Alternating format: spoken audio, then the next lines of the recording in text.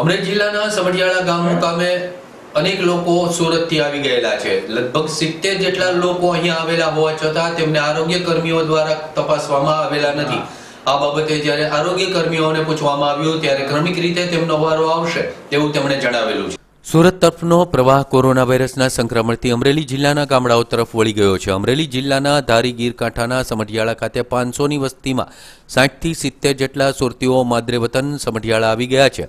Textile ઉદ્યોગ અને રત્ન કલાકારો. સમઢિયાળામાં આવી જતા સમઢિયાળા ગામમાં પણ કોરોના વાયરસના કાળા કહેર સુરત આવ્યા બાદ સુરતીઓ સમઢિયાળામાં આવતા આરોગ્ય વિભાગ દ્વારા યાદી લઈ ગયા બાદ તપાસણી કરવામાં આવી નથી અને આ અંગે તાકીદે આરોગ્યની તપાસણી થાય તેવી માંગ સરપંચ પણ કરી રહ્યા છે.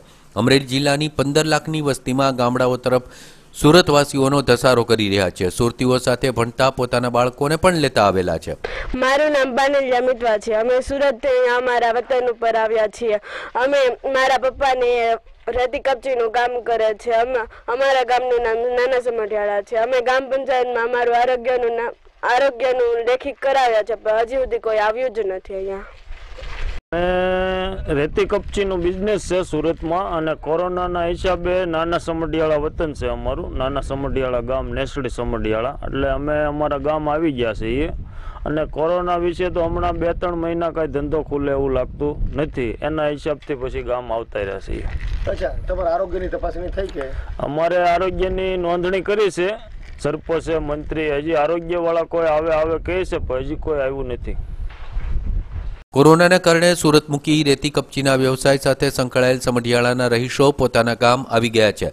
રસ્તામાં આરોગ્યની ચકાસણી થઈ હોવાનું કહે છે. જ્યારે સમઢિયાળાના સરપંચ દ્વારા આરોગ્ય વિભાગ નામની યાદી લઈ ગયું છે, પણ આરોગ્ય કર્મીઓ બે ગામ હોવાનું સરપંચ નરેશ કાતરોટિયા જણાવી રહ્યા છે. અમારા ગામમાં પાંચસો ની વસ્તી છે. અને સુરતથી લગભગ સિત્તેરક જણા આજે આવી રહ્યા છે અને તમામ યાદી થઈ ગયેલી છે અને યાદી અમે આરોગ્ય વિભાગને અને અમારા ટીડીઓ સાહેબને અમે મોકલી આપેલી છે અને તે ઉપરાંત સુરત અને અમદાવાદથી જેટલા કુટુંબો બીજા આવકમાં છે તો એની યાદી રોજે રોજ કરી અને અમે આરોગ્ય વિભાગને અને ટીડીઓ સાહેબને અને તમામ અધિકારીઓને મોકલી આપીએ છીએ દરરોજની દરરોજ યાદીઓ અને જે કંઈ ક્વોરન્ટાઇનના દર્દી છે, એની તમે તાત્કાલિક કોઈ પણ હોય તો અમે તરત જાણ કરી અને તરત જ એને જે કાંઈ પ્રાથમિક સારવાર આપવાની હોય છે તે અપાઈ દઈએ છીએ. અને અત્યારે તો કોઈ અમારે હાલમાં ક્વોરન્ટાઇનવાળા દર્દીઓ છે નહીં.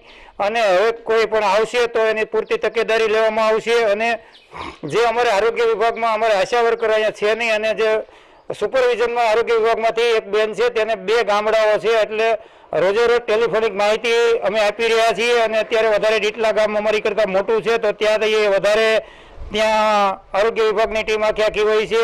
અને અમારે જરૂર પડે તો એ લોકોને તાત્કાલિક અમે બોલાવી અને આરોગ્યમાં જે કાંઈ સારવાર લેવી પડશે તે લઈ અને પબ્લિકને સ્વસ્થ સ્વાસ્થ્ય રૂપી રાખશું.